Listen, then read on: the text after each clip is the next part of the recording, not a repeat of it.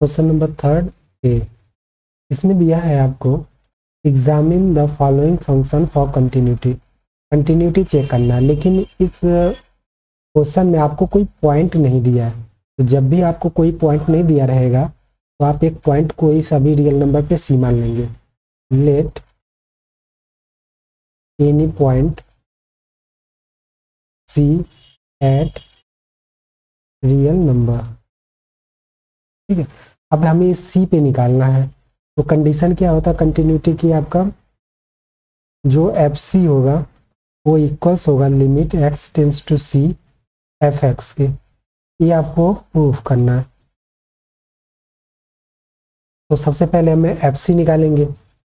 तो आपका F C जो होगा, वो होगा एक्स के जगह पे आप पुट कर दोगे सी हो जाएगा c minus five equation first इसी तरीके से आप सेकेंड पार्ट निकालेंगे जब limit x tends to c f x तो निकालोगे आप limit x tends to c point ही है एंड एफ़ एक्स क्या है आपका?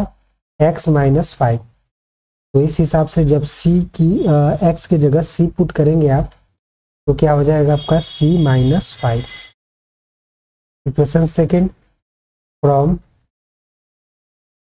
equals second that means f c equals limit x tends to c f x दोनों बराबर हैं तो फ़ंक्शन इज़ continuous.